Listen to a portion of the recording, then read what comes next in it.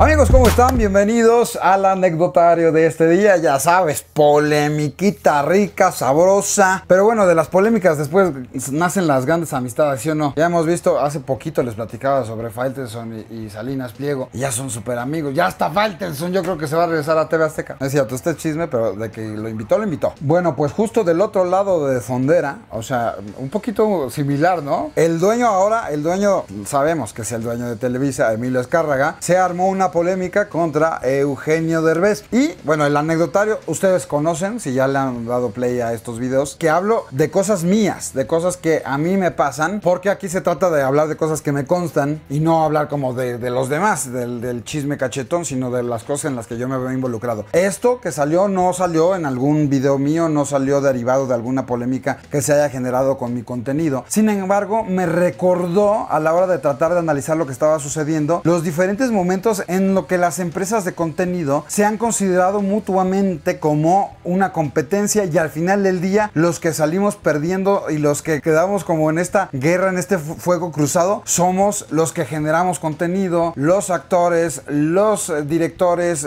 etcétera, etcétera, los guionistas y, todos los demás. ¿Por qué? Porque obviamente estamos viviendo en una guerra sin cuartel. Se los he dicho eh, de la forma romántica, ¿no? Tu play, el hecho de que le hayas dado play a este video, vale oro para mí. ¿Por qué? Porque tú, teniendo la opción de ver cualquier plataforma streaming, cualquier otro canal de YouTube, cualquier película en el cine, cualquier cosa que tú quisieras hacer para usar tu tiempo libre, de todo el tiempo, mucho o poco que tengas, con todas las opciones que tienes hoy en día, que le des play a mi video, vale oro. Así que cuida muy bien tu play y checa a quién realmente se lo regalas, quién realmente se lo está ganando. Esa es la forma romántica de ver las cosas. La otra forma es que estamos viviendo una canibalización de contenido, muchachos, sí, porque todo mundo está sacando contenido a lo güey. Hay muchos podcasts, hay muchos streamings, hay muchos canales de YouTube, hay muchas películas, hay muchas series, hay muchas cosas que es imposible que, que aunque quisieras, aunque tuvieras todo el varo del mundo y aunque tuvieras todo el fanatismo para ser fanático de todo, no te alcanza el tiempo en la vida para ver todo lo que existe, todas las opciones que existen para entretenerte. No te alcanza el tiempo. Entonces, pues bueno, ya es una madriza sin cuartel en este mundo independiente donde todo el mundo hacemos contenido y donde todo el mundo nos estamos peleando. El público que antes era nada más tuyo se pulveriza y se va a todas partes, a las diferentes redes sociales y a las otras plataformas que ya te platiqué. Esa es una de las lecturas que le doy a lo que sucedió con Azcárraga y con Derbez. ¿Qué pasó? Si te lo perdiste, te lo hago así un resumencito muy muy rápido. Eugenio Derbez estrena simultáneamente una nueva película en streaming en Hulu en Estados Unidos y en Star Plus en México. Es una nueva movie y realizó una alfombra roja en Los Ángeles y otra en México. En los dos lugares dio entrevistas, pero cuando llegó a la Ciudad de México, al lugar donde lo vio nacer artísticamente, pues resulta que la empresa que fue su casa durante muchísimo tiempo no cubrió ninguna actividad de la alfombra roja, ni de las entrevistas, ni del estreno, nada. No lo pelaron. Y entonces Eugenio Derbez en un par de entrevistas dijo eso, pues quién sabe por qué estoy vetado. ¿Qué hay con Televisa? Pues eh, no sé, yo, yo, según esto, soy parte de Televisa Univisión. Pero estoy vetado. Ya me dijeron gente interna de Televisa que hay una carta circulando donde dicen que no pueden hablar de mí, de mi nueva película. De repente me dicen, oye, hay un memo en donde tenemos prohibido entrevistarte, hablar de ti, estás vetado. Entonces estoy vetado. Después de dar esa declaración, pues ya sabes, todo el mundo empezó a replicar la noticia, a, darla a conocer y a opinar al respecto de qué es lo que está pasando. Y a diferencia de lo que hace el mandamás de TV Azteca, Ricardo Salinas, que se la pasa hablando a diestra y siniestra en redes sociales sin tener el mínimo tacto y decir las cosas como le vienen en gana, a diferencia de él, Emilio Escárraga se ha mantenido en un perfil mucho más bajo. Pero no en esta ocasión, porque dentro de la declaración de Eugenio Derbez dijo que está vetado después de lo del tren Maya. No me han dado la razón exacta, pero pues quiero suponer que es por lo del tren Maya. No voy a dar por entendido que sabes que es el tren Maya. Hay algunas personas que lo tienen clarísimo, pero es un tren que está haciendo el presidente López Obrador allá en la península de Yucatán y se dice que está en riesgo mucha cosa natural, muchos ríos subterráneos y demás. Y hubo un video donde aparecen varias celebridades alzando la voz y diciendo que se hiciera un buen estudio y que, y que se cambiara la ruta porque le iban a dar en la madre a eso que es invaluable y que no se va a poder recuperar nunca. Y entonces el presidente, eh, pues obviamente no le gustó mucho y se fue contra estos cuates, específicamente contra el más famoso que es Eugenio Derbez, y lo exhibió públicamente en la mañanera, señalándolo y diciéndole cualquier cantidad de cosas, invitándolo a platicar y Eugenio no pudo en esa ocasión y todos los demás sí podían, pero como no pudo Eugenio, el presidente dijo pues que se suspenda. Un desmadre, política. Y en este video voy a tratar de no hablar de política porque son cosas que no me constan, ¿no? Así de sencillo. Ustedes tendrán su posición. Yo creo que es nuestra responsabilidad como seres humanos hablar de lo que nosotros creamos que no está chido y que nos puede afectar a nosotros o a nuestras generaciones subsecuentes. Siempre que se pueda hacer las cosas mejor, creo que está chingón, ¿no? Si tú ves que en tu colonia están construyendo algo, y aunque tú no seas ingeniero o albañil, güey, pues la vas a hacer de pedo y vas a decir, güey, eso no se hace, güey, por favor, busquen otra forma. Y te van a decir, ¿qué? ¿Tú no eres ingeniero? ¿O tú eres ambientalista? Bueno, ex. Esa es otra historia, este, pero creo que tenemos derecho siempre a hablar, no importa qué gobierno esté, cualquiera en el pasado, ahorita y dentro de los próximos 400 sexenios nunca se quedan con la boca callada. El punto es que Azcárraga contesta, Emilio Azcárraga, el presidente de Televisa, el dueño de Televisa, hizo una redacción chistosona, muy creativa la neta, usando muchas frases de Eugenio, pero un poco burlona, ¿no? Sí juguetona, pero un poquito burlona porque es un tema delicadón, mostrándole que no está vetado de Televisa y mostró dos clips donde hablan justamente de Eugenio en un noticiario con Paola Rojas cuando ganó el Oscar eh, por la película de Coda y otro fragmento de noticiero donde hablan otra vez de Eugenio por precisamente este video del Tren Maya, poniendo un texto que pues ahí está, que eh, Eugenio Derbez sí está presente en las pantallas de Televisa para hablar sobre su trabajo y sobre lo que está haciendo y remata diciendo lo que pasa es que tú estás enojado porque quieres los derechos de la familia Peluche, los quieres de gratis y no te los vamos a ceder, ¿no? Al final del día le mete un madracito, ¿no? Mucha gente que está en contra de Eugenio Derbez, pues se puso bien Que irónicamente es la misma gente que ha estado en contra de Azcárraga mucho tiempo, pero bueno, así son las cosas. El punto es que se puso contento porque le contestó así a Eugenio. ¿Y qué pasó? Que después de esos tres tweets, Eugenio se aventó un hilo como de nueve tweets, dándole una respuesta en el mismo tono de los personajes de Eugenio, usando esas frases juguetonas, contestándole ahora con sarcasmo, ¿no? Después de, de hacer esa burla, pues el otro usa el sarcasmo. O sea, güey, la, la bola se va haciendo cada vez más grande. Y le contesta justamente lo que es lógico. Emilio Azcárraga puso dos clips de justamente las cosas que pasaron antes de la polémica del tren Maya, cuando se hizo, digamos que esa, esa fricción entre el presidente y Eugenio. Lo de Coda y lo del Tren Maya, ahí está, es parte del pasado. Después del Tren Maya, ya nadie ha hablado de, Eugenio, pues porque no había tenido otra cosa que dar a conocer hasta ahora que se estrena de ballet o que se estrena de ballet en plataformas digitales de Disney, en Hulu y en Disney Plus. ¿Por qué es importante eso? Ahorita se los digo. Hasta este momento vuelve a tener un evento y entonces Eugenio dice, ah caray, tengo un evento, invito a toda la prensa, invito a diferentes influencers y no va a Televisa.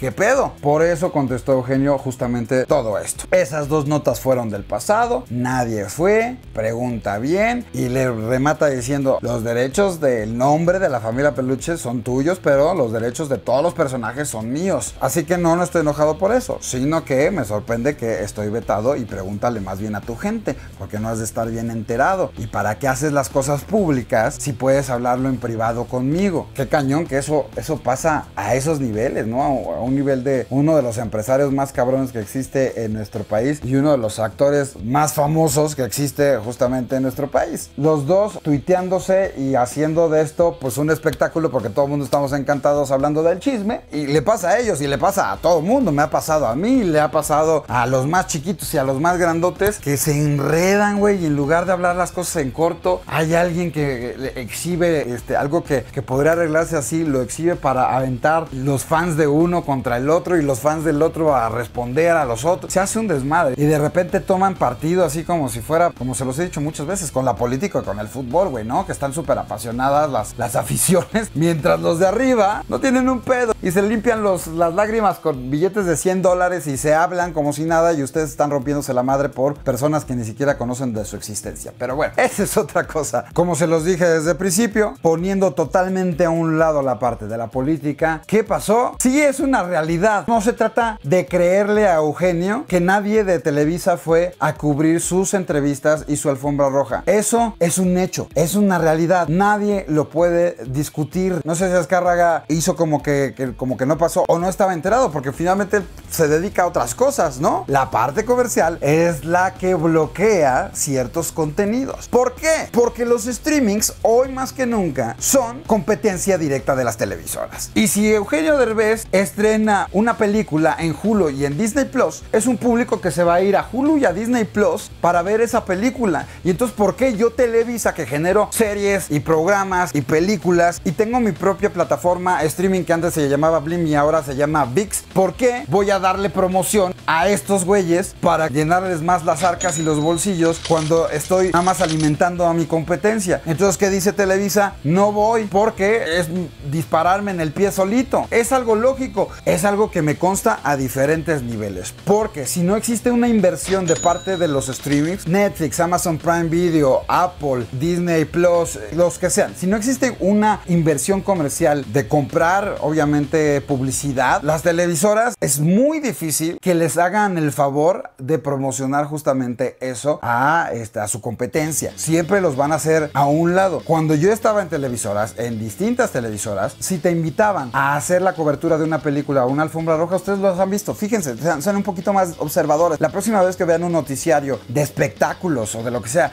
y ven en la alfombra roja, ven que en la alfombra roja, en la pared, están los patrocinadores. Pues bueno, ellos en edición voltean la imagen para no darle, o sea, se ve rarísimo, o lo blurean o lo voltean para no darle publicidad a las marcas que están patrocinando la alfombra roja. Y te mandaban a las entrevistas o te invitaban a las entrevistas, pero tu jefe de información, tu productor, te decía, ve, pero no vas a hablar de la película, vas a hablar sobre otras cosas. O sea, si, un ejemplo estúpido. Si es la película de Rocky con Sylvester Stallone, no le voy a preguntar a Rocky, oye, ¿cómo te preparaste para la película? Y platícanos acerca de ella y el del guion. No, tienes que preguntarle acerca de un tema de coyuntura como es este el boxeo en México. ¿Qué piensas del Canelo? ¿Es el mejor boxeador mexicano o después de esta derrota ya no volverá a ganar nada en su vida? Platícanos de eso, de un tema periodístico, no de la película. Porque si no sería darle publicidad a la película. A menos que el Rocky le invierta un chingo de varo, le invierta en una buena campaña de publicidad a la televisora, es cuando vas a hablar de la película. Si no, no lo van a hacer. Y ahora en los streamings, peor. Cuando comenzaban las redes sociales, existía un conflicto cabrón para saber si podían poner, en ese momento,